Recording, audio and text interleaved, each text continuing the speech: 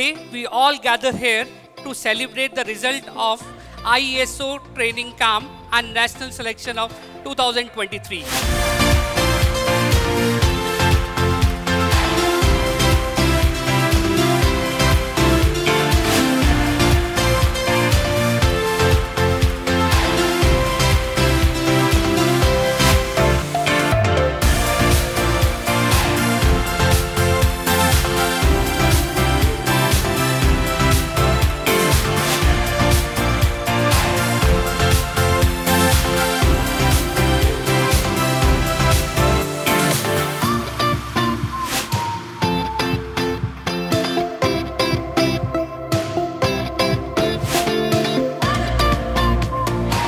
This is uh, again uh, achievement basically for all of us, and more than the achievement, it is a hard work, hard work of all the students who have done this, because uh, representing India for anything is a milestone, is a big achievement for all of us.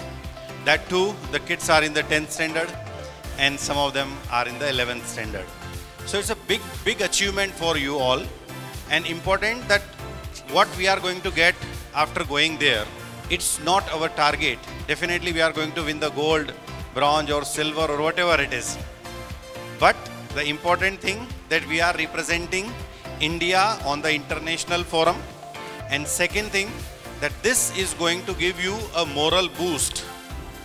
This is going to give you a moral boost, which is going to help you to achieve your target, which is which was not at all this competition or this Olympiad examination.